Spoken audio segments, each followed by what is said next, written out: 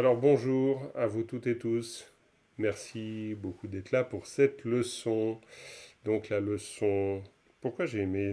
Ah si, j'ai affiché leçon 9 sur l'écran, mais nous en sommes bien sûr à la leçon 10, eh, vous l'avez vu.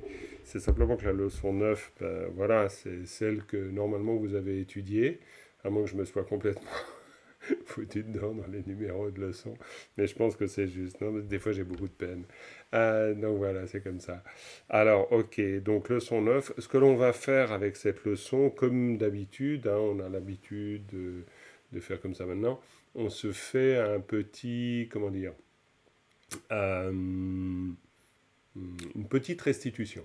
Voilà, et la restitution consiste ben, à la fois à Hmm, peut-être euh, citer par cœur une strophe que vous avez mémorisée, ou alors euh, lire une strophe que vous avez mémorisée. Mais l'idée, c'est qu'on ne laisse pas de côté tout ce qu'on a vu, mais qu'on se donne vraiment l'occasion de pouvoir euh, intégrer, en fait.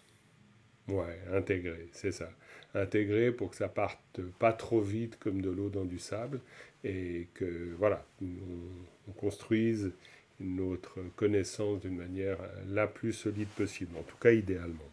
Voilà, alors, et puis après on verra donc cette leçon 9 que normalement vous avez étudiée. Cela dit, si vous l'avez déjà étudiée, on peut tout à fait euh, travailler déjà sur cette euh, strophe en termes de restitution, hein, c'est tout à fait possible. Ça dépend sur quelle strophe vous avez travaillé, parce qu'il n'y a pas non plus obligation de travailler sur une strophe ou sur une autre, évidemment. On navigue comme on veut à l'intérieur de tout ça. Alors je vous écoute attentivement. Il y a là Florence, Dominique, Joël, Myriam, Natalia, Philippe, Sylvia, Thibault, et il me semble qu'il y a quelqu'un d'autre qui se cache derrière Thibault. Oui, salut les deux. Voilà, super. Très bien.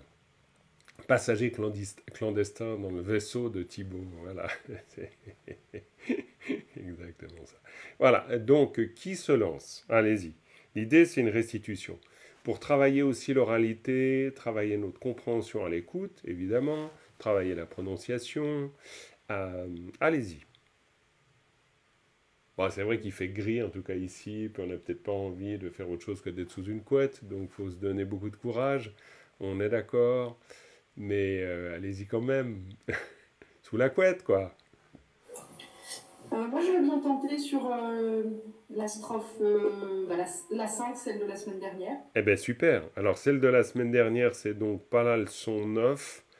Celle qui est affichée à l'écran, c'est la précédente. La 4. La 4.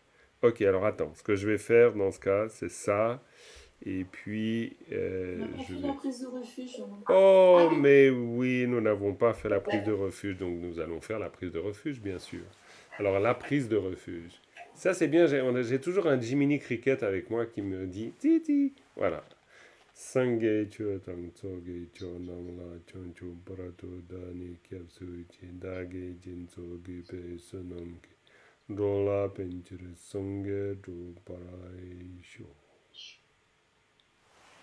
Voilà, merci Dominique pour nous rappeler ce qui est si important, il n'y a pas de doute. Alors, je zoome un peu, quoi, je zoome? Là, je suis sur euh, une autre application, ce qui fait que je peux pas, euh, je, peux, peux pas, par exemple, euh, hmm, ouais, je peux me déplacer comme ça, mais pas plus. C'était, non, mais peut-être que c'est pas bien ça. Attends, attends, attends. Je vais juste bien me préparer, comme ça. Je vais revenir à la leçon précédente, comme ça on a le bon texte. Donc, c'était analyse de texte pour le coup, analyse de texte. C'est la, c'est la 4 ou la, la 5 Non, c'est la 4. C'est la 4, hein. Euh, c'est la 4, c'est la 4. Où est-elle?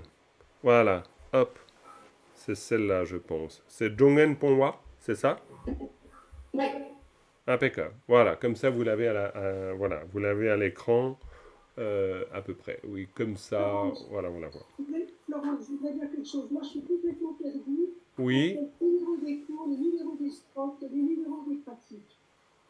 Alors, est-ce qu'on ne pourrait pas parler simplement en termes de pratique quand on cherche une strophe En termes de pratique, d'accord. Il y en a 37. Il y en a 37.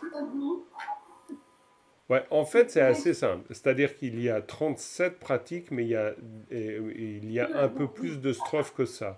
Euh, il, y a des, il y a deux strophes d'introduction, en fait. Donc, euh, c'est vrai qu'on... La quatrième ou la cinquième? La cinquième, on regarde la cinquième strophe, c'est-à-dire la cinquième pratique. La cinquième pratique. Merci beaucoup. La cinquième pratique. Donc c'est Dongen Pongwa et qui correspond à la leçon 4, comme on le voit à l'écran, si jamais. Voilà. Alors, Myriam, on t'écoute. Tandang chokna tuksum pelyoshin te sangampe chawa yangyola chantang nije me para gyurchepe prognen pongwa gyalse la kenyen. Voilà, ça, c'est très très bien. hein. Là, tu l'as beaucoup bossé, Myriam, ou pas? Euh, oui, oui. Ah ouais, mais ça, ça s'entend, hein, parce qu'il y a une fluidité dans la lecture. Je sais pas comment vous percevez ça les autres, mais euh, moi je trouve ça vraiment très bien. hein. Euh, re- redis peut-être la première phrase, juste pour me rendre... euh, Redis-moi une fois, là. Euh, Dis-la encore une fois, tout simplement. Comme ça, je peux vraiment me concentrer sur l'écoute. Et puis tout le monde d'ailleurs, hein, le but c'est qu'on se concentre tous sur l'écoute. Idéalement, l'exercice, c'est pas seulement Mireille qui le fait, on est bien d'accord. L'exercice, c'est qu'on écoute, oui, mais nous on fait un exercice d'écoute. C'est-à-dire l'exercice d'écoute, on a déjà fait cet exercice, ça consiste à vraiment capter le sens des mots. Et puis ensuite, même idéalement, de pouvoir dire, tiens, moi j'ai entendu ça et j'ai entendu ceci. Donc vas-y, vas-y Myriam, redis encore une fois.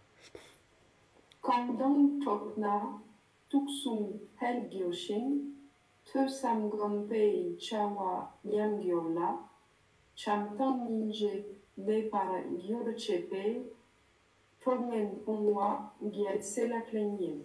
Hmm, ah non, c'est impeccable, c'est très bien. Super. Alors, euh, là, tu l'as mémorisé ou c'est de la lecture? Euh, je l'ai mémorisé. Ouais, c'est si, euh, j'arrive, en fait, maintenant j'ai pris un rythme, mais j'arrive à mémoriser d'une semaine sur l'autre la nouvelle. Euh, Ah, la c'est super. fois. Bravo, bravo. Ouais, C'est vraiment. Non, non, c'est très. Ouais, bien sûr, faut garder le rythme. Ça a l'air de rien, mais non de bleu, une strophe, ça demande déjà un boulot considérable. hein. Mais vraiment. Et en plus, vous êtes tous. euh, Quoi, pas tous, mais vous êtes presque tous très très jeunes. En tout cas, ceux qui sont très très très très jeunes, ils ont beaucoup beaucoup beaucoup de chance. Voilà, c'est dit. ok, très bien. Alors maintenant, quand tu dis cette phrase, euh, les autres, euh, est-ce que vous avez capté au vol un mot? Ou un autre N'importe. Tuxum, Tuxum, c'est qui qui m'a dit ça? C'est Sylvia? C'est Joël. Joël. Ah, ok, Joël, parfait. Voilà, je me plante des fois dans les petites euh, vignettes. Joël, très bien. Oui, tout à fait. Et Tuxum, ça veut dire quoi? C'est les trois poisons. Bravo. Et tu saurais dire en tibétain quels sont ces trois poisons? Euh, de chaque, Oui. euh, peut-être pas dans l'ordre. Euh, Non, c'est égal, ça. Timuk Timuk, impeccable. et Ch- Chétan? Shedang. Shedang, oui, tout à fait. Shedang, impeccable. Ouais, très très bien. Ouais, mais c'est super, hein, vraiment. Euh, voilà, bon, bah, de Chai, Shedang, Timuk. Euh, voilà. Les autres, tu les connais, par hasard? Euh, la, la jalousie, l'orgueil. Ouais. Euh, mais en tibétain, non, je sais pas. Ok, d'accord. La jalousie, Chagdo, et l'orgueil, Ngagel, hein, par exemple. Et, et- et, donc, le- euh, on- quand on dit euh, Timuk, mais on parle aussi de l'ignorance. Oui. Marika Tout à fait. Quand on dit Timuk, on, on dit Timuk, on... Alors, Marikpa, Marikpa, c'est vraiment l'ignorance. hein. Euh, c'est pas que Timuk n'est pas l'ignorance, mais Timuk, ça a cette particularité d'être plutôt ce qui est de l'ordre de, je dirais, euh, de l'opacité mentale, en fait, surtout. C'est l'opacité mentale. Euh, Le manque de clarté mentale, en fait. c'est le manque de clarté, ouais, on peut le voir ça comme ça. C'est le manque de clarté mentale, tout à fait. Le manque de clarté mentale. Oui, complètement. Donc, euh, Mukpa, Mukpa, c'est vraiment le, brouillard. Si on veut dire qu'il y a du brouillard, on dit Mukpa. Oh, Teling, Teling Mukpa, do. Hein, donc aujourd'hui, il y a du brouillard. Bon, il n'y a pas forcément de brouillard ici, c'est un peu gris, mais bon, c'est Moukpa. Euh, oui, voilà. Timouk, ti, là, ben, j'en sais rien. Ti. Il faudrait regarder dans le dictionnaire, mais vu que le tibétain est une langue monosyllabique, on peut être sûr que ti, ça signifie quelque chose, forcément, mais là, ça m'échappe. Donc voilà. Ok, en tout cas, Tuksum, euh, est-ce que quelqu'un a capté un autre mot? Parce qu'il l'a peut-être pas forcément sous les yeux, la strophe, euh, ou la pratique, si on parle de la cinquième pratique. Pardon? Chawa. Chawa, chawa, chawa, chawa. Euh, tout à fait, j'essaie de repérer dans la syllabe où elle se trouve. Absolument. Te sam gompe chawa. Chawa. Ouais, chawa. Et qui m'a dit ça? Parce que c'est Sylvia peut-être? Non? Oui, c'est Sylvia. Sylvia, oui. Ouais, ouais, ouais. J'ai juste un peu de peine à repérer les, les petites vignettes. Ok. Euh, oui, tout à fait. Chawa. Te sam gompe chawa. Chawa, l'action ou les actes. Hein, l'action. L'action, le fait de faire. Le verbe faire, c'est chepa ou chewa, chepa. Hein. Nye chegiye, je fais, par exemple. Oui, chawa. Très bien. Euh, si je vous lis les deux dernières, comme ça vous écoutez. Cham tang ningje me par pe dongen pongwa gyalse lale nin. Je l'ai peut-être dit, dit trop vite. Cham tang ningje me par pe dongen pongwa gyalse lale nin. Qu'est-ce qui vous vient en tête? Ouais, jam, tout à fait. Cham tang ninje. Eh oui, tout à fait. Et cham tang ninje, ça veut dire? Amour et compassion. Amour et compassion. Mais bien sûr, amour et compassion. Mais où est-elle? Elle est là, Natalia. Parce que mais, je ne sais pas, j'ai fait un affichage comme quoi euh, je ne je vois pas toutes les vignettes. C'est bête C'est cette pas histoire. hein, Euh, c'est pas pas grave, mais j'entendais une petite voix qui me faisait Tiens, t'as ninja. Ouais, ouais, tout à fait. Donc c'est bien si je vous vois toutes et tous, c'est quand même beaucoup mieux. Ok, Cham Tang Ninja. Oui, tout à fait. Cham Tang Ninja. Complètement. Euh, L'amour et la compassion. Euh, attendez voir, je vais faire juste, je vais tenter de faire un réglage différent. Mais euh, voilà, si je me fais, voilà, là c'est galerie. Ok, et puis je vais juste voir sur ce qui enregistre.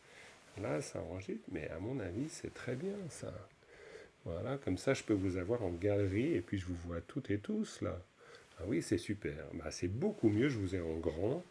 Et puis en même temps, ça enregistre euh, juste ce que je veux. Donc euh, c'est une très bonne chose. Parfait. Cham Tang Ninja. Alors donc Natalia, bon, tu as la caméra au niveau du nez, hein, tu te rends compte. hein. Ah, ah, toujours, toujours. hein. Toujours, bah t'as raison, c'est vrai. Ouais, faut se protéger quand même, on sait jamais. Ok. Cham Tang Ninja. Ninja, Ninja, c'est quoi Ninja Compassion. Compassion, ok. Tu me ferais une phrase avec Ninja, par exemple? Euh, Par exemple, euh, oh, ouais, alors là, tu as utilisé le Ninja dans un autre sens. Oh, ça, c'est une maline, Natalia.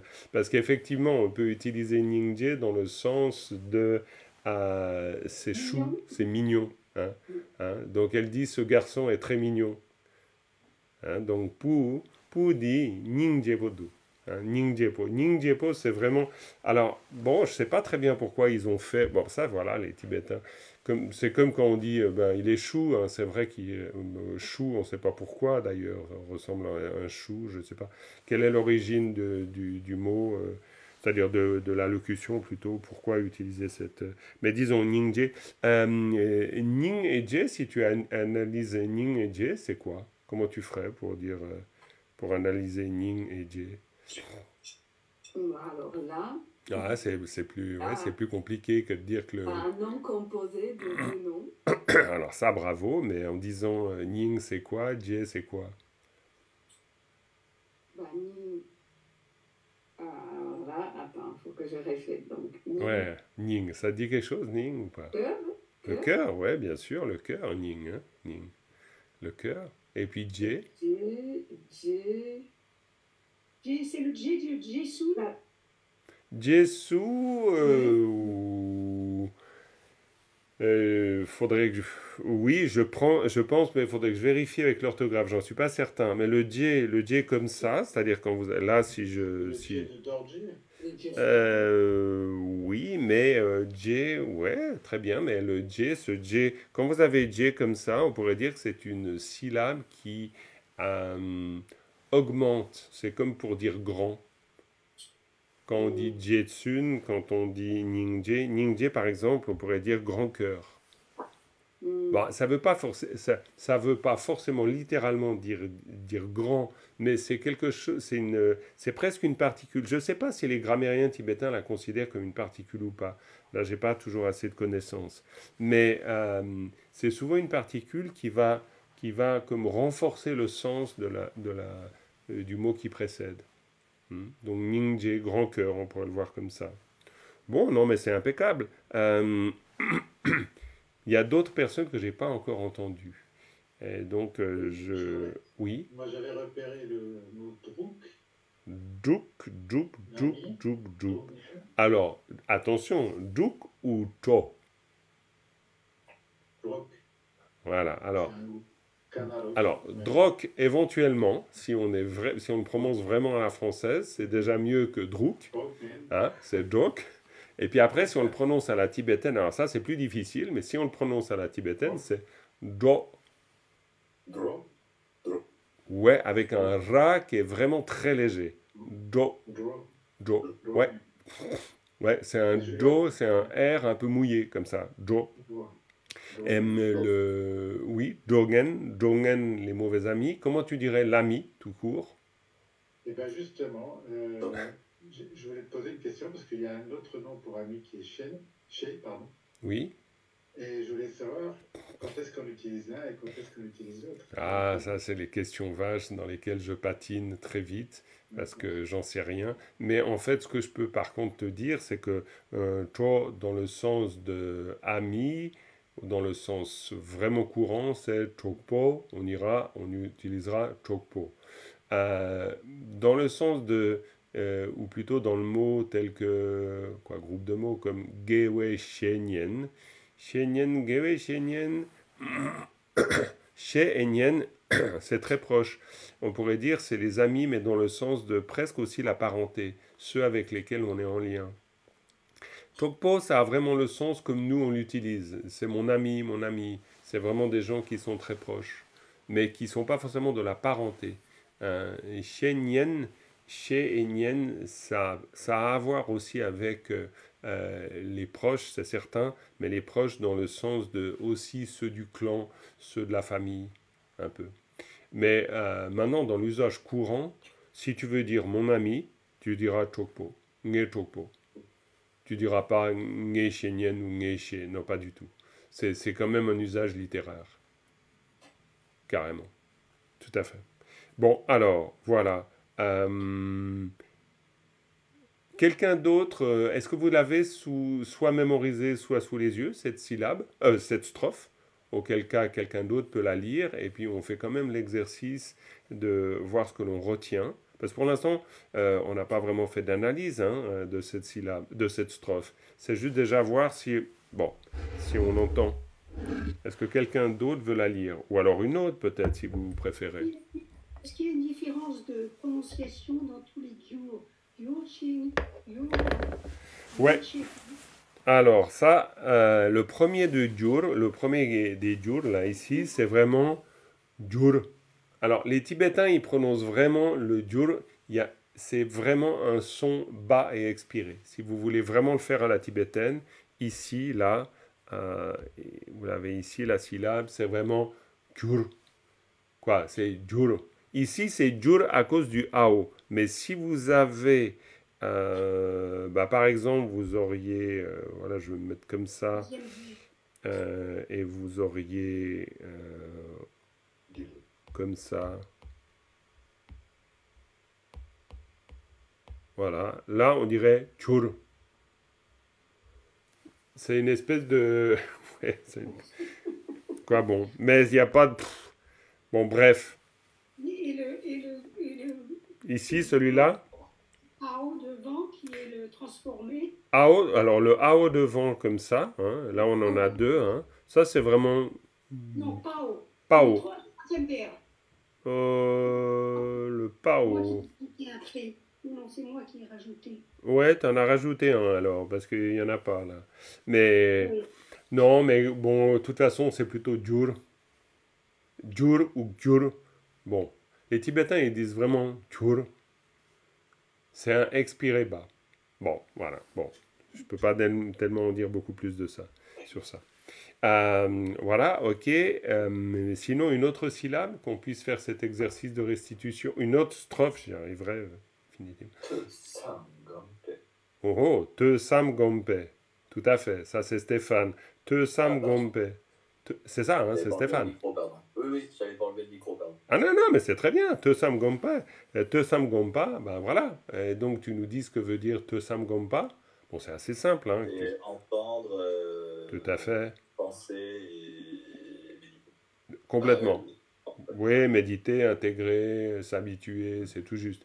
Euh, la différence que tu ferais entre te et nien, c'est quoi? Euh, te, c'est euh, entendre et nien, c'est écouter. Ouais, bravo. Hein. Donc, euh, nien, c'est vraiment le verbe, on pourrait dire, actif, volitif. Te, c'est non volitif, c'est le fait d'entendre. Tiens, j'ai entendu un son. Euh, si euh, Thibaut, tu dis j'ai entendu un son, comment tu dis j'ai un... Ah tiens, j'ai entendu, j'ai entendu le son, le son d'un oiseau, le chant d'un oiseau.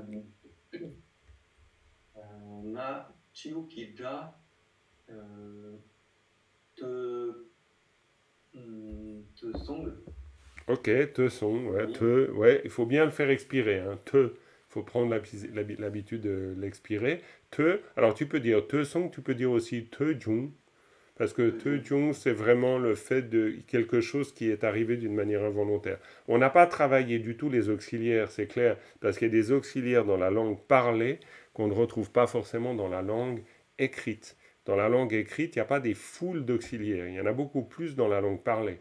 Alors, on y viendra peut-être une fois à tous ces auxiliaires, mais bon, pour l'instant, on reste vraiment, on est dans notre terrain de, du tibétain littéraire. Euh, mais très bien, euh, on a eu te sam gom. Sam, euh, le, le verbe par exemple penser, réfléchir, on dirait ça comment? Est-ce que quelqu'un sait? Samlotang. Bravo Natalia, Sam Lotang, hein, Sam Lotang. Euh, lui, il ne sait pas réfléchir, tu dirais comment? Ko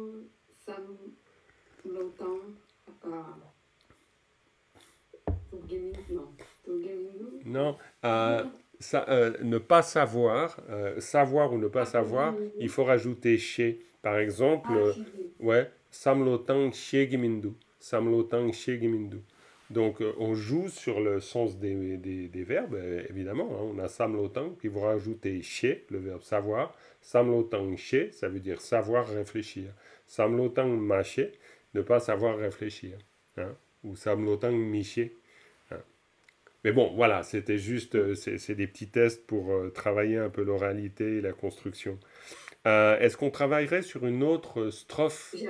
Oui, bien sûr, Natalia. Avant qu'on passe à autre chose, est-ce qu'on Ouais. peut revenir sur ce génitif Parce que j'ai vu que quelqu'un a. Ah oui, oui, oui, oui, il y a eu, il y a eu des... Est-ce qu'on peut. euh, pourrait essayer de trancher? Bon, je pense Ouais, que- complètement. Alors j'ai re-réfléchi. Je trouve, donc. Euh, Non, non, mais c'était d'ailleurs, là, il y a eu la dernière explication là, de, de ce Jean-Jacques, je crois, que, euh, tel qu'il a, il l'a écrit dans son message, qui était oui. très pointu. Je sais pas, et ça doit être un grammairien tibétain, je pense. En tout cas, j'étais très impressionné par cette réponse. Il avait l'air de manier là, les concepts oui, linguistiques de manière parfaite. d'accord, oui. T'es d'accord? Je me suis dit, oulala, là là, mais vais-je encore euh, oser dire quelque chose? Euh, Donc je tente quand même. Alors, moi j'ai une explication encore plus simple. Euh, quoi, j'ai réfléchi après. Donc pour que tout le monde soit bien au courant, la, la question que pose Natalia porte sur cette partie-là de la strophe. Vous voyez? Vous voyez à l'écran. C'est-à-dire qu'à la fin de la ligne 3, on a Ici, on a Chamtang Ningje. Alors, ça, c'est pas compliqué. hein. Ça veut dire l'amour et la compassion. Donc, Chamtang Ningje Mepar, ça veut dire sans amour et compassion. hein, parce que Mepa, ça veut dire il n'y a pas. On a un datif locatif. En général, ça peut permettre de, euh, de dire sans, bah, sans, mais dans le sens comme une espèce de comme une espèce d'adverbe, hein, on pourrait dire, euh, comme on dirait absolument pas, absolument, euh, bon, c'est pas absolument, mais euh, ce serait une manière de dire il n'y a pas d'amour et de compassion, mais comme si on parlait de quelque chose qui fait qu'il n'y a pas de, qu'il n'y a pas, qui provoque le manque d'amour et de compassion. Ensuite, on a mais ça dépend comment on l'analyse, parce que Cham Tang pas, bon. Mais après, on a aussi la construction euh, ici. Tac, tac, tac, tac. Et là, Chepa. Euh, alors, Chepa qui transforme, hein, qui, fait, qui fait advenir ou qui fait se transformer quelque chose. Alors, le ra ici, ça peut aussi servir de... Bah, par exemple, ça peut être l'équivalent, c'est un des usages du latin, ça peut être l'équivalent d'un connecteur, par exemple comme Xing. Mais bon, euh, moi j'ai toujours un peu de peine à être totalement catégorique parce que c'est un peu ma limite de compréhension. Euh, mais euh, peut-être qu'on peut considérer qu'ici c'est un latin, mais dans le sens où on relie ça à ça. Ça, c'est possible. Mais quoi qu'il en soit, après, on a notre génitif à la fin. Et c'est celui-là qui nous pose un peu de questions. Un peu problème d'ailleurs. Parce que comment on fait pour relier ça à ça? Parce que normalement, le rapport du génitif le plus simple, c'est déterminant-déterminé. Donc ça veut dire qu'ici, c'est l'aspect déterminant, on va dire. Ici, c'est l'aspect déterminé. En gros. Donc, alors après, moi je me suis dit, ben, il y a peut-être une, une, une, explication très simple, c'est que la construction, elle est comme ça. Je me suis dit, c'est peut-être simplement ça. C'est-à-dire que c'est Djurchepa, ok, Djurchepa, puis après on a notre génitif, et puis Dongen. Et dans ce cas-là, Djurchepe Dongen, si je le prends comme un bloc, Dongen, ben, c'est en fait euh, c'est un mauvais ami qui transforme. C'est-à-dire, c'est comme je dirais, et dans ce cas-là, c'est un rapport qualifiant-qualifié, on va dire. C'est-à-dire que je prends ouais, ben, une action euh, ici, et puis ben, j'établis un rapport qualifiant-qualifié, est-ce que c'est vraiment qualifiant qualifié? Là Peut-être qu'un linguiste dirait que c'est un autre rapport. Mais quoi qu'il en soit, on est dans le rapport de base avec quelque chose ici qui est un déterminant et quelque chose qui est ici indéterminé. C'est-à-dire le jongen, le mauvais ami, dans ce cas-là, c'est le mauvais ami qui euh, fait ça. C'est-à-dire que c'est le mauvais ami, euh, admettons que ça, ça qu'on le traduise par destructeur. Hein détruire ou destructeur. C'est l'ami destructeur. C'est-à-dire c'est une façon comme de... C'est pour ça que je parle de rapport qualifiant-qualifié. C'est un peu comme si c'était... C'est pas tout à fait un adjectif, évidemment, là, dans ce cas. Mais euh, c'est un ami destructeur, un ami constructeur, à la différence d'un destructeur. Donc ici, ben, on pourrait dire que... En tout cas, ça, c'est une façon très simple de comprendre. C'est Chepe Dongen, c'est-à-dire Cham Tang Ningje pas Cham Tang Ninje Mepar, Chepe Dongen, c'est dans ce cas-là, c'est l'ami destructeur, on pourrait dire, ou l'ami qui, euh, qui éradique ou qui euh, transforme, voilà, et qui transforme ben, dans le sens où qui fait, qui fait advenir, parce que Gyurche, c'est faire advenir littéralement. Donc c'est l'ami qui fait advenir l'absence d'amour et de compassion. Voilà comment je le comprendrais. Alors de manière très simple. Mais pour ça, il faut que mes pas, je le comprenne comme absence. Donc comme, euh, euh, voilà, comme, comme un état, un état d'absence. Donc ça veut dire que le mauvais ami, c'est celui qui fait qu'il y a une absence d'amour et de compassion. Ça, c'est la chose la plus simple. Alors après, dans le groupe, euh, évidemment, l'intervention de Jean-Jacques était tout à fait pertinente. Euh, moi, je suis moins à l'aise dans ces catégories grammaticales qu'il semble l'être. Donc vraiment, tant mieux d'être à l'aise comme ça, parce que j'aimerais bien euh, pouvoir faire une analyse plus fine. Mais je pense que, en tout cas, ça me permet de comprendre. Maintenant, est-ce que c'est satisfaisant? Je ne dis pas que c'est le dernier mot. hein. On va dire que c'est satisfaisant. C'est ça. Je, je t'explique juste le raisonnement. Oui, je t'en prie, je t'en prie, je t'en prie. T'as t'as raison, mais je me disais, si jamais c'était la particule adversative, dans ce Oui. cas, je considérerais les trois premières strophes comme premières subordonnées Oui, qui s'opposent à la dernière strophe que si on, si on se remet à mau- mauvais ami, ça engendre ces trois choses de, que l'amour euh, et compassion disparaît, que les trois choses, écoute, euh, ça m'énuise, mais de se remettre à bon ami, c'est en opposition que, que c'est ça la pratique de Bodhisattva. Je sais pas si tu vois ce que je veux dire. je vois ce que tu veux dire. Le problème, c'est que dans le texte, l'opposition ici, par exemple, euh, c'est vrai que là, Natalia, pour que pour pas perdre tout, pour perdre personne, disons, je sais pas si on va y arriver, c'est que agigui, le génitif, en fait, nous réserve des surprises. Étant donné que si on regarde par exemple dans le clair miroir, on va se rendre compte que pour l'instant, pour nous toutes et tous, on pourrait dire qu'on manie l'usage le plus standard et le plus simple des particules. C'est-à-dire qu'on a un génitif et notre génitif, on le prend comme un delta, tout simplement. C'est-à-dire comme un élément, voilà, on a là, on a un élément X, et puis ici et ici, on crée un lien. Donc voilà, pour l'instant, on en est là avec notre génitif. Simplement, le, génitif, il peut aussi servir, et c'est ce que dit Natalia, il peut servir, et c'est un cas, c'est un cas, c'est des, des particules morphologiquement, non seulement morphologiquement variables, mais elles sont aussi variables dans leur fonction. Donc, une de ces fonctions, c'est la fonction adversative.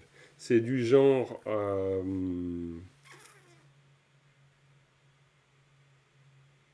euh, ce n'est pas le sage, mais bien le fou qui gagnera, par exemple.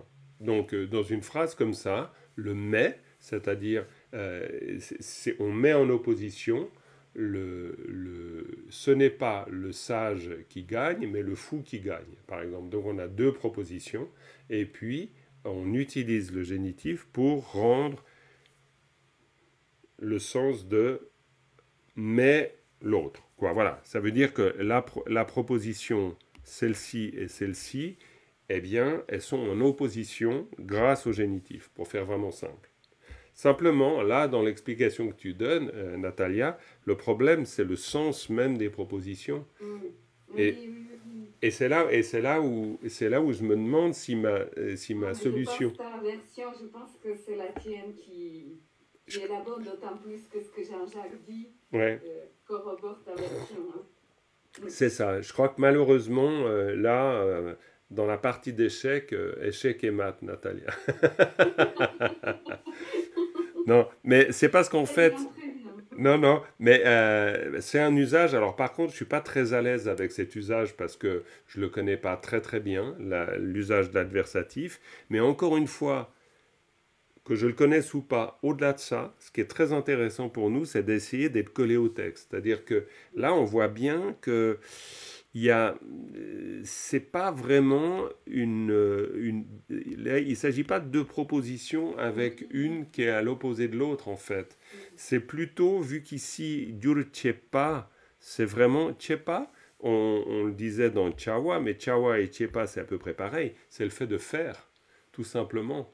Donc Durchepa, Chepa c'est aussi, rappelons-nous que le pas, ça peut permettre de mettre un verbe à l'infinitif, mais ça peut permettre aussi de nominaliser un verbe. Donc, Durutsepa, ça, ça nominalise, et du coup, si ça nominalise, c'est d'autant plus facile de le relier avec Jongen. C'est par exemple, nominaliser un verbe, un, un exemple très simple, c'est un skieur.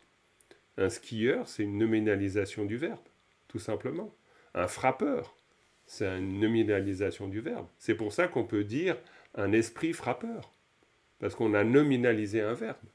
Donc là, si on a nominalisé, nominalisé c'est-à-dire euh, un, transformateur, hein, bon, c'est- c'est moche un peu, mais disons, c'est pas faux, c'est pas faux parce que c'est lié au sens, un transformateur, ben, on pourrait dire que le Jongen, c'est un mauvais ami transformateur. Et dans ce cas-là, hmm, ben ça, ça marche, quoi. Oui, oui. Oui, moi je mettais plus en opposition doc dans le sens verbe s'accompagner et pour moi rejeter. Ils sont Ouais. Mais bon, moi, je ne vais pas occuper. Non, non, mais c'est intéressant. Euh, c'est simplement que, euh, euh, tout à fait, euh, mais hmm, Le premier. parce que, parce que par contre, dans mon analyse, quoi, mon analyse, disons, dans cette hypothèse-là, ça suppose qu'on fasse un bloc comme ça. C'est-à-dire, on a un bloc comme ça. donc oui, Tout à fait. Et puis on fait un bloc comme ça. Et par contre, on garde le bloc à la fin comme ça. Parce que... Non, non, mais c'est, c'est- la, la question est très intéressante parce qu'on peut très bien se dire qu'en fait, chaque construction de strophe, elle reprend à peu près la même structure. C'est-à-dire qu'à la fin, on a Ponwa galse laglein. Ça veut dire abandonner est une pratique des vainqueurs. Et si on regarde du coup les autres strophes, comme par exemple ici, on, on aura euh, hmm, ici Gompa. qui nous fait douter que c'est toujours la même construction. Ouais. Pardon? Oui, c'est ça que je me disais que ça Oui. Devrait pas être une bonne explication la mienne parce qu'il essaie de reproduire la même construction. Exactement. Parce qu'en fait, on, regarde la strophe, donc euh, la pratique 1. hein, la pratique 1, c'est Gompa Galse Laglein, c'est-à-dire méditer est la pratique des vainqueurs. On regarde la 2, on a, euh, vous l'avez à l'écran, hein, j'espère que vous voyez suffisamment. C'est un peu petit Non, je peux zoomer encore un peu plus. Attendez, moi. je vais zoomer un peu plus pour que vous ne soyez pas trop perdus. Voilà. Euh, donc, on a la 2, c'est euh, bah, justement. Ah non, là on a encore Ponwa Galse Laglein, c'est-à-dire abandonner, abandonner le pays de ses attaches, vous vous souvenez. Après, on a la troisième pratique, euh, Tenpa Galse Laglein, c'est-à-dire euh, s'en remettre est la pratique des fils filles et fils des vainqueurs. Puis après, on a le Tang c'est-à-dire abandonner dans le sens de lâcher en esprit est une pratique des fils d'un vainqueur. Et puis après, on a Ponwa Galse Laglein. Donc, a priori, euh, il prend le même modèle, la même structure. Donc, si il fait ça, eh ben, dans ce cas, ben, ça veut dire que ici, on est autorisé à penser que le groupe, c'est tout ça. Et puis, dans ce cas-là, eh bien, euh, abandonner est une pratique des vainqueurs. Abandonner quoi? Eh bien, l'ami, euh, l'ami transformateur qui crée l'absence d'amour et compassion. Et dans ce cas-là, on arrive à notre sens. Ça nous donne du fil à retordre hein, quand même, hein, toute cette histoire, il n'y a pas de doute. Bon, alors on va continuer avec notre restitution. Je regarde si tout se passe bien. Voilà, très bien. Ok, prenons une autre strophe. Quelqu'un d'autre, là c'est Myriam qui a proposé une strophe. Euh, Quelqu'un d'autre en propose une autre parmi toutes celles que nous avons vues. Euh, ça peut aussi être celle de la leçon 9, hein, il n'y a pas de problème. N'importe. Allez-y, retenez-vous pas. Je veux bien celle de la leçon, là. Eh bien, super. Donc, celle la, la 9 Je la lis, hein, je ne l'ai pas... Alors, je l'ai attends. Ta, ta, ta, que je me mette dessus. Voilà. La leçon 9. Voilà. Donc, la leçon 9 pour Florence, qui est la sixième pratique. C'est s'en remettre à l'excellente amitié. Mais nous sommes dans le support de la leçon 9. On va y arriver. Quand shik tena niepa se yoshin yenten yane datar pelyowe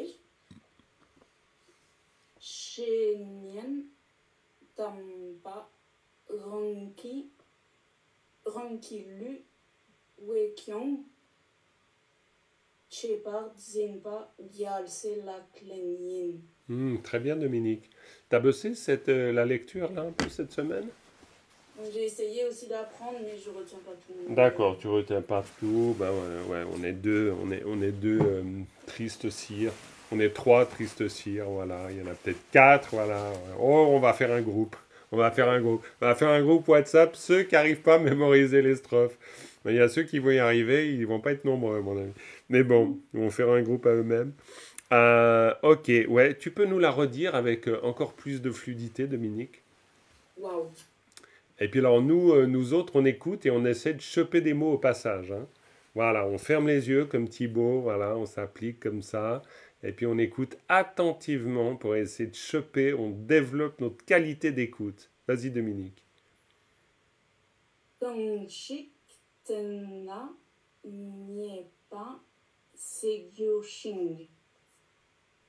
Yönten yang datar pelgyowe. Shenyan tampa rankilu uekion. Chepa zinpa gyalse la klenyin. Mhm, Ok, super, très très bien. Alors, euh, qui a attrapé au vol euh, un mot, une parole et laquelle en l'occurrence? Yunten, Yunten, tout à fait, Yunten, voilà, on a ici Yunten qui veut dire, Stéphane? Les qualités Les qualités, absolument, les qualités, la connaissance, Yunten. Ça peut vouloir dire les deux, hein, qualité et connaissance. Hein. Yunten mais pas, Yunten mais pas, c'est ne pas. C'est d'ailleurs marrant que les Tibétains utilisent le, prince, le, le mot de qualité pour dire connaissance aussi. Hein. Euh, quoi, voilà, c'est comme ça, je sais pas. Bon, voilà, ok, Yunten. Un autre mot que vous auriez capté au vol? Quelqu'un? Vas-y, Philippe, vas-y.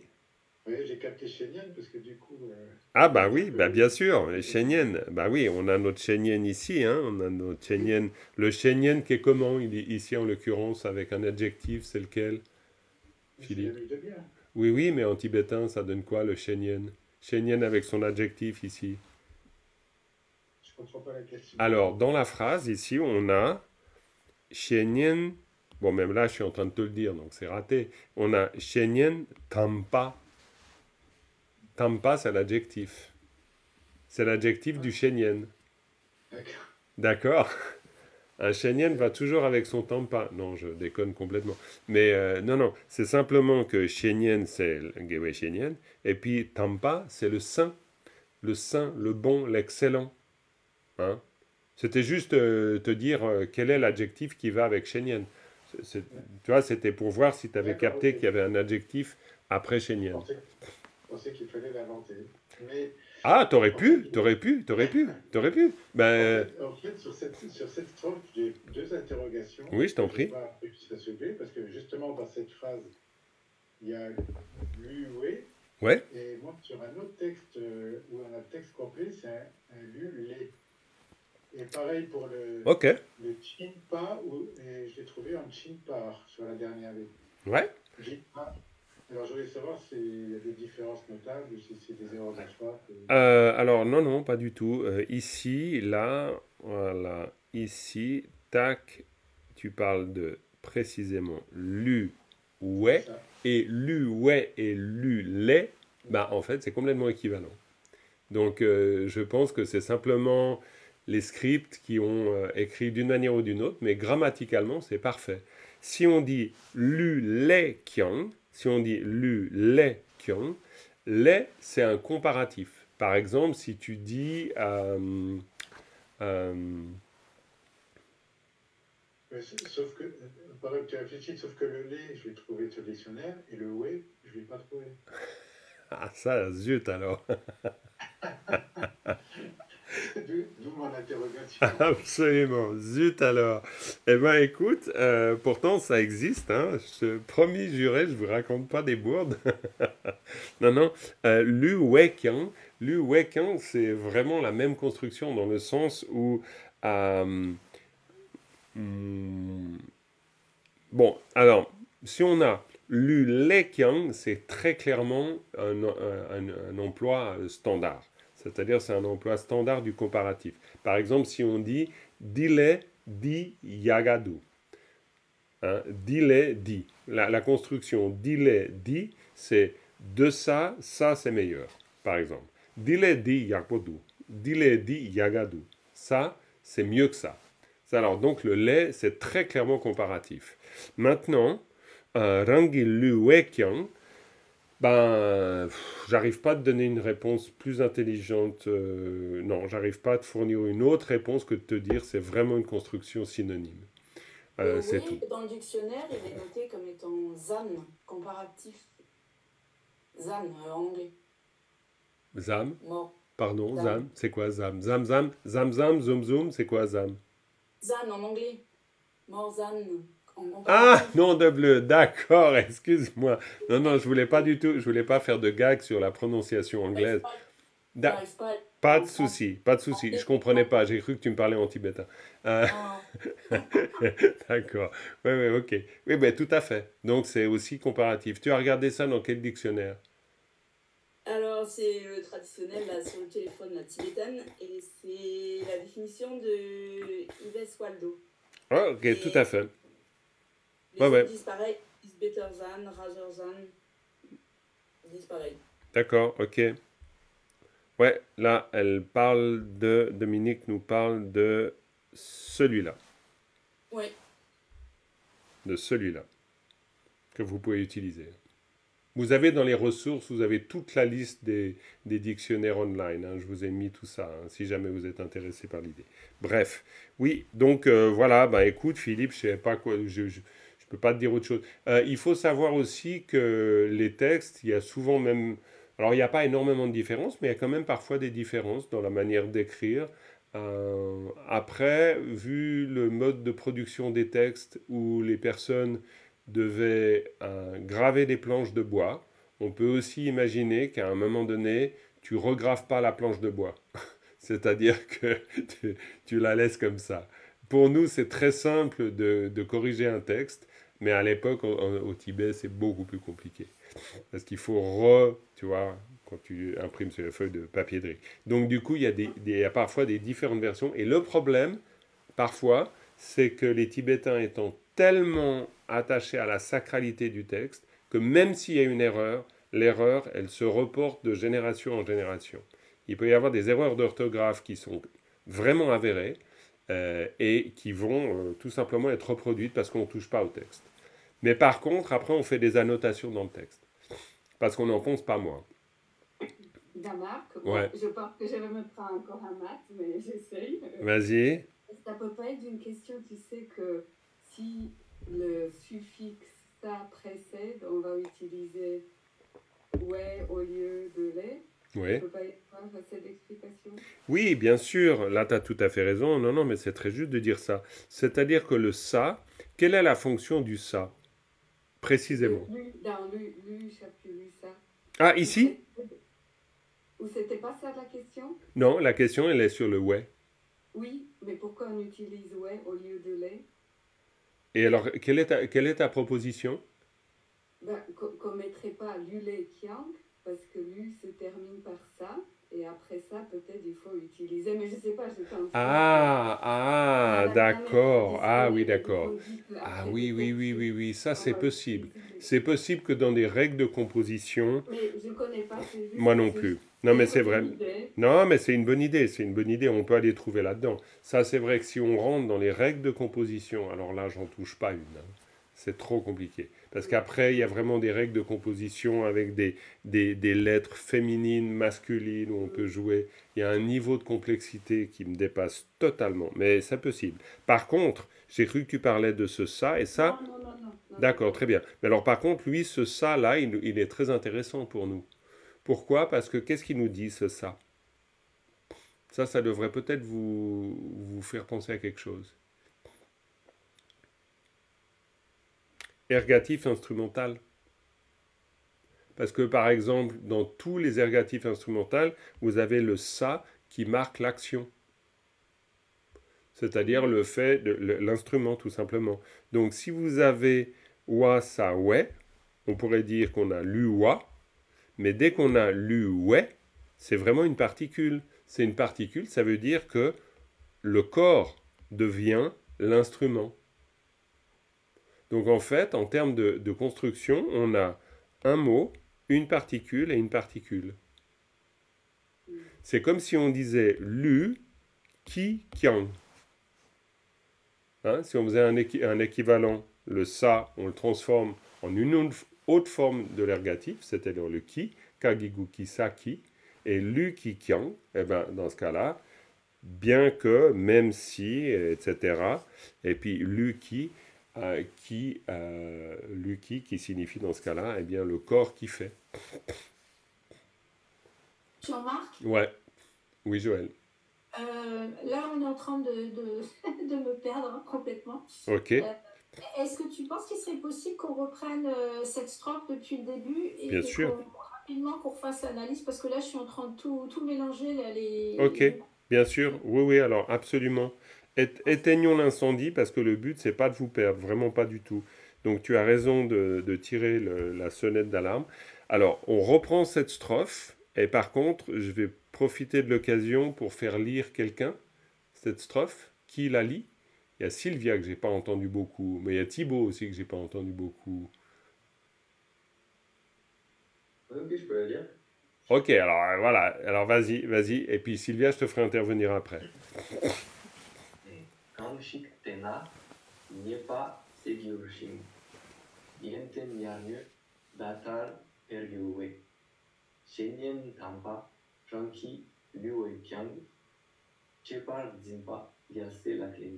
Très bien, super. Alors, maintenant pour toi, Joël. Donc, euh, ce qu'on va faire, c'est qu'on va analyser cette strophe. C'est-à-dire, on va lui donner, mais l'analyser de manière, on va dire, euh, légère, pas rentrer dans trop de détails, mais réussir à simplement, sur chaque ligne, déterminer les groupes de mots. C'est déjà pas mal, leur rapport les uns avec les autres. Alors, kanshik tena n'y pas sejurching. Alors, Thibaut toujours, et puis après Sylvia, kanshik tena n'y pas sejurching. Qu'est-ce que ça veut dire? Alors là, on peut repérer le na qui est au milieu, Tout à qui, fait, est- euh, qui veut dire si, si ce Ouais. qui est avant, non ce qui est après. très bien, Euh, ten, c'est se tenir en compagnie d'eux, tout à fait, s'en remettre aussi, en fait. complètement. Et dans ce cas-là, kanshik tena, Kanshik, ça veut dire. Euh, Kanshik, c'est comme une personne. Oui, de quiconque. Tout à fait, qui que ce soit. Hein, c'est le, c'est le qui que ce soit. Kanshik. Kanshik, c'est chic. Chic, ça veut dire 1, en fait, le chiffre 1. Donc, à- hum, qui que ce soit dans le sens, euh, quelle que soit la personne. Hein, euh, Kanshik, c'est. Chic, chic c'est comme. Chic, ça, ça voudrait dire ça. C'est quoi que ce. euh. Et qui que ce soit. Hein, c'est qui que ce soit de toute façon. Donc kanshik tena, donc, mais dans le sens kanshik, c'est pas du tout déterminé. C'est euh, du genre, on pourrait dire, quoi que tu manges, ça va te faire du bien. Admettons qu'on ait une phrase comme ça, le kanshik, c'est quoi que, c'est qui que, qui, qui que, quoi que? Et ten, c'est s'en remettre. À qui à quelque personne que ce soit que je m'en remets, j'arrive pas à la faire d'une manière très concise, cette phrase. Euh, elle- mais bon, bref, kanshik tenna. Ensuite, il n'y est pas. Alors, euh, n'y est pas, c'est les négativités, je crois. Oui, tout à fait. C'est comme. Euh, dites pas alors. N'y est pas, n'y est pas, c'est aussi les défauts. Euh, c'est tout simplement les défauts. N'y est pas, c'est les fautes aussi. Et alors, euh, c'est. Euh, c'est, ça veut dire euh, diminuer, je crois. Oui, tout à fait. Enlever, diminuer. Diminuer, c'est comme quelque chose qui s'épuise. Gyorsh, ça doit être pour le futur. Alors ça, c'est un auxiliaire, c'est la fameuse note. hein, je vous ai mis toute une, une, une note auxiliaire euh, de, de grammaire avec un extrait du clair miroir pour bien vous montrer que c'est un auxiliaire du futur pour les verbes euh, non volitifs. Alors là, ça commence à devenir un peu technique, mais pourquoi? Bah, Tout simplement parce que c'est, c'est quelque chose qui s'épuise. C'est pas moi qui l'épuise, ça s'épuise tout seul. Donc quand je dis c'est dur, ça veut dire ça s'épuise. C'est juste pour dire ça va s'épuiser. Donc la phrase ici, c'est que, après on verra, euh, c'est dur. Le shing, le shing, ça veut dire et. C'est une conjonction, simplement. Donc c'est par exemple en deux verbes. Ça veut dire que la première phrase, c'est euh, envers qui que ce soit que je m'en remets, les fautes diminuent. Mais le, le qui que ce soit, on parle bien sûr d'un ami spirituel, on le découvre après dans la strophe. Mais c'est dans le sens, à quelques maîtres spirituels que je m'en remets, cela va me permettre, alors là je, je, fais plein de périphrases, mais ça va me permettre de faire que euh, les fautes diminuent. Hein? D'accord? Ok Donc, mais on a le shin qui est et, et donc, alors deuxième phrase, et Sylvia, est-ce que tu me ferais une traduction de la deuxième phrase? Oula. Ou, ou, ou pas, hein, mais c'est juste histoire Alors. que quand même, je, ça fait un moment que je t'ai pas entendu et qu'on t'entende aussi. Alors, On a Yunten, euh, alors Yun, donc c'est les qualités. Yunten, tout à fait. Yunten, oui, pardon. Yunten, les qualités. Euh, alors après, qu'est-ce que j'ai noté? J'ai noté comme la lune montante. Tout à fait. Alors, comme la lune, c'est Datar, tu es d'accord avec ça? Ouais. tatar. Comme Et la après, lune. Donc il y a un génitif avec le hagiboui. Oui, complètement. Donc, le groupe, c'est ça. C'est Yarnge Datar. Hein? Yarnge Datar. Il y a un datar. Ouais. Euh, euh, Euh, semblable à elle, Alors, hum, hum, hum, alors, c'est plus simple. C'est plus... a augmenté et il y a un génitif aussi à la fin. Tout à fait. Alors, c'est c'est- alors c'est plus simple que ça. Non, non, non, non, mais c'est normal. Mais regarde, c'est plus simple que ça. Pour simplifier, euh, c'est toujours super efficace de revenir aux mots et groupes de mots. C'est plus simple. C'est-à-dire qu'on prend notre groupe là. Le génitif, pour l'instant, on le laisse de côté parce qu'on n'en a pas besoin. Pas tout de suite. Puis là, on a donc yunten. Yunten, c'est les qualités. Après, on a un autre groupe de mots, c'est celui-là. Yarnge datar. Yarnge datar, c'est comme une lune montante. Tout simplement. Ça veut dire comme une lune montante. Datar, c'est semblable à la lune. Et puis on a Yarnge pour dire montante. Donc comme une lune montante. Et puis ensuite, on a Peljur. Ici, on a Sejur. La construction, c'est la même chose. Ouais, Pel- ouais. Tout à fait. C'est le futur d'un verbe non volitif, c'est un auxiliaire classique, et peldur pour dire ça augmente. Donc en fait, on a ici un shin qui dit et pour dire il y a deux choses, il y a ça et il y a ça. Donc qu'est-ce qui se passe? À qui se- que l'on s'en remet, les fautes diminuent, et puis ensuite, et les qualités, telle une lune montante, se développent. Tout simplement. D'accord? Donc, l'exercice, quand vous le faites, l'exercice de, de- de- compréhension de, de la strophe, c'est vraiment de revenir sans arrêt sur le groupe de mots. Et ça, ça vous aide beaucoup. Parce que sinon, en fait, euh, on se prend les pieds dans le tapis avec un texte tibétain. C'est toujours super dur parce qu'on a de la peine à savoir qu'est-ce qui va avec quoi, etc. Alors que là, Kanshik Tenna, premier groupe de mots, n'y est pas, c'est du routine. À qui qu'on s'en remet, n'y est pas les fautes, c'est du routine, elle diminue. Yunten, les qualités, Yarnge Datar, comme une lune montante, Pel du, roi. Elles, elles augmentent, tout simplement. Et puis, troisième ligne, et là, vas-y toujours, Sylvia, comme ça on t'entend. Alors, Chechen. Chénienne. Chechen- Chénienne, pardon. Chénienne, Tampa, Tampa, Rangi, Luwe, Kyang. Ouais. Et là, pareil. Chénienne Tampa, c'est notre premier groupe. L'ami spirituel, euh, le saint ami spirituel. Tout à fait, Chénienne Tampa. Puis après, on a ce fameux truc, Rangilu, Rangilu, son propre corps. Son propre corps, alors avec un génitif, le Kagiluki, Tout à fait. Et c'est pour ça que c'est son corps à son soi, corps à hein. lui. à moi, Enfin, à moi, à moi, Oui, oui. à moi, pas à lui. C'est mon corps à moi, parce que Rang, Ouais. c'est moi. Hein. Rangilu, c'est son propre corps. Rangilu, Et après, euh, bah, plus que. exactement, plus et que. puis avec, euh, bah, pareil, on retrouve l'ergatif euh, avec une, la fonction causale, c'est ça, non? Tout à fait, ici, complètement. Voilà. Alors Pour- j'hésitais entre ça ou après qu'il soit connecteur à nouveau de la phrase d'après, non? Alors avec le kyang, oui, parce que bien que quand on a un kyang, ça indique toujours qu'il va y avoir une suite, automatiquement. Mais alors du coup, c'est quelle fonction alors? C'est une particule ergative ou c'est un connecteur?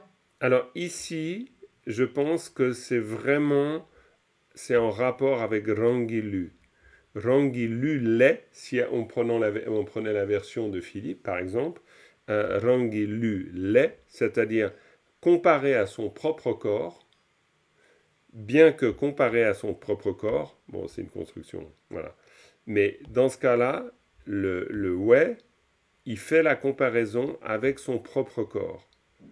Et puis on, on est en train de dire, comparé à son propre corps, et, et ben, euh, même si on le compare à son propre corps, si on traduisait Kyang par même si, et ben nanana nanana en dessous. En dessous. C'est-à-dire que le, le Lu Wei Kyang, comment dire ça? J'ai de la peine à te l'expliquer bien. Euh, le, Ah, ouais. J'avais eu l'explication que le Kang ici c'était un amplificateur. Et Oui. encore plus que son propre corps.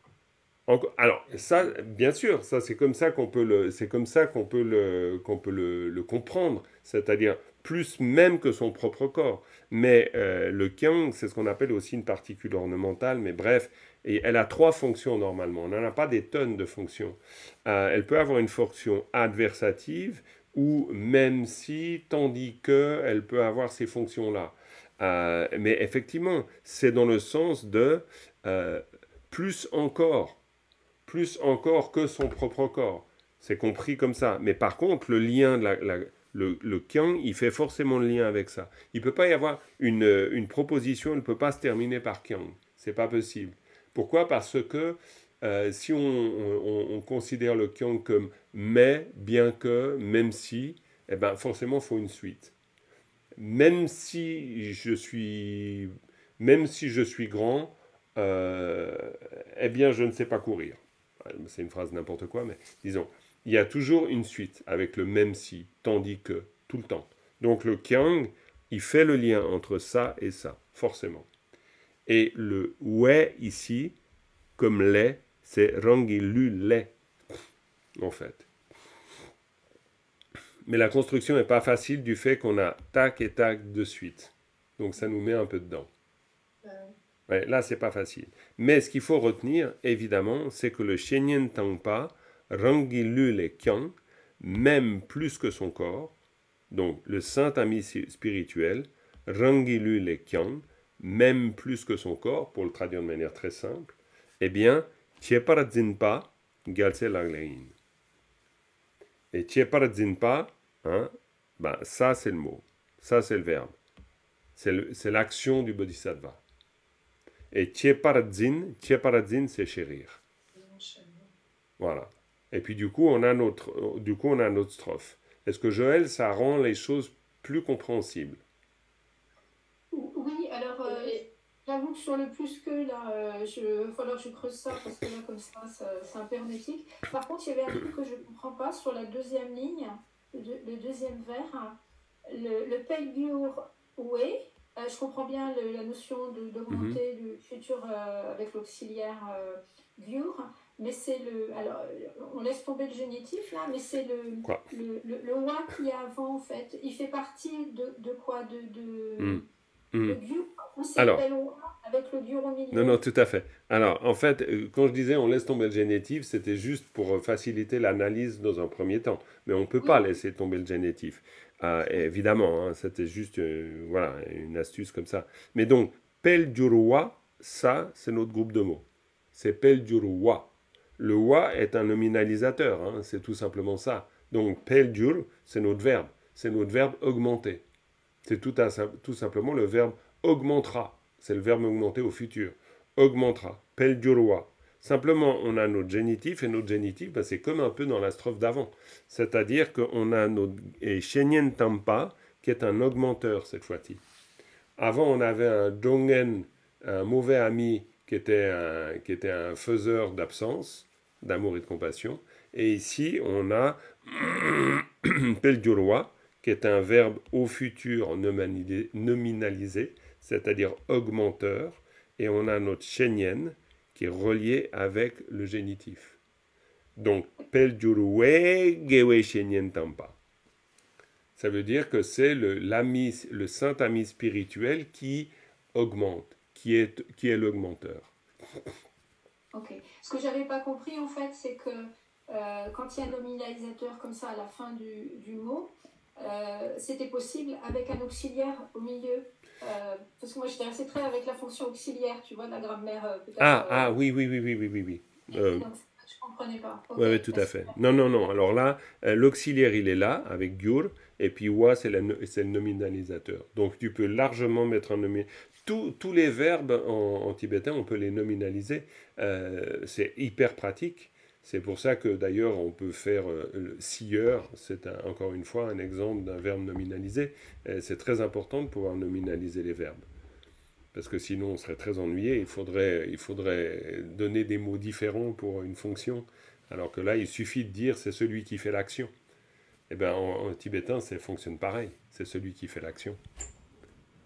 Voilà. Mais pas de quoi. À part ça, les amis, on a explosé l'horloge comme d'habitude. Euh, c'est pas très grave d'exploser l'horloge, mais nous l'avons explosé. donc euh, voilà. Tu pourrais prendre encore une minute pour me dire la strophe suivante, s'il te plaît? Bien sûr. Alors la strophe suivante. Voilà, je vous lis la strophe suivante. Prendre, prendre refuge. Puis après, ben, je vais vous laisser découvrir cette, cette leçon. Du coup, j'ai même pas eu le temps de vous la présenter. Bon, elle n'est pas très compliquée. Hein, vous verrez, c'est pas plus compliqué de ce qu'on a fait jusqu'ici. Mais euh, je vous la présente. Alors, Kyapsu Jowa. Donc, Kyapsu Jowa, prendre refuge. Tout simplement. Ensuite, on a Ranyang Korwe Tsundrar Chingwai Jikten Hlai sushik kyaparnu, techir kan la kyamna, milue kuncho, kyamjo, galse laglein. Je vous la redis. Rangyang, si même moi, Rangyang, Korwe Tsunrar, dans la prison du cycle des existences, Korwe Tsunrar, Chingpai, je suis attaché, si moi-même, dans la prison du cycle des existences, je suis attaché, là on a un génitif, donc, Jiktenla, Jiktenla, ça veut dire les dieux du cycle, les dieux mondains, les dieux du cycle des existences, qui sont attachés dans la prison du cycle des existences. Hein. Donc on parle d'eux, on découvre qu'on parle d'eux, on parle de même ces dieux mondains qui sont attachés, ou ces dieux mondains qui sont attachés dans la prison du cycle des existences. Donc, Jikten Hla Yi, Yi, c'est une particule d'action. Sushik, Kaparnu, Sushik, c'est qui que ce soit. Kaparnu, Kaparnu, c'est la capacité de protéger. Kaparnu, Techir, Kanla Kamna, Milue Kuncho, c'est pourquoi quand la Kamna, c'est pourquoi quand la Kamna, qui que soit qui se réfugie, on pourrait dire, Milue Kuncho, Milue Kuncho, Milua, ça veut dire infaillible, qui ne trompe pas. Et Kuncho, c'est les trois rares et sublimes. Dans, dans ce cas, Milue Kuncho, les trois rares et sublimes infaillibles. Kamjo, prendre refuge est une pratique des filles et fils des vainqueurs. Donc je vous la refais maintenant en disant euh, Rayang korwe tsunrar chingwai jikten hlai sushik kyaparnu techir kan la kyamna milue kuncho kamjo gyalse laglein. Si soi-même on est pris dans la prison du cycle des existences, et que l'on y est attaché, ces dieux mondains, qui que ce soit, eh bien, nu la capacité de protéger, Techir, alors là, on pourrait attendre une négation. C'est là où c'est un peu bizarre, parce qu'on pourrait se dire, ben oui, on doit dire qu'ils n'ont pas la capacité. Mais c'est pourquoi, dans, dans le sens, on le, sous-entend en disant, ben, finalement, ces dieux, euh, ces dieux mondains, ils sont pris par la, ils sont pris par la prison du cycle des existences. Donc, s'ils sont pris par la prison du cycle des existences, ben, en fait, euh, qui que ce soit, euh, qui que ce soit qui a besoin d'un refuge, eh bien, il va falloir cap par nu la capacité de protéger. Et cette capacité de protéger, ben, c'est pourquoi qui que ce soit qui a besoin de refuge s'adressera aux trois rares et sublimes qui sont en refuge infaillible. Mais bon, on reprendra toute cette strophe. Elle est à la fois simple et puis à la fois, bon bah voilà, il faut réussir à mettre de nouveau euh, euh, les, les mots dans les bons groupes. Mais ça va comme ça? Ok, très bien. Donc les amis, voilà, on arrête l'enregistrement ici après une petite dédicace. Sunam diye tam che zingpa ne tum ne nye pe dranam pam je. Ke ga na chen bang lak tru pa yi si tsole dro wa dro wara yi shu. Merci beaucoup. Voilà, j'arrête ici l'enregistrement. Merci beaucoup. Merci à vous. Merci. Merci beaucoup.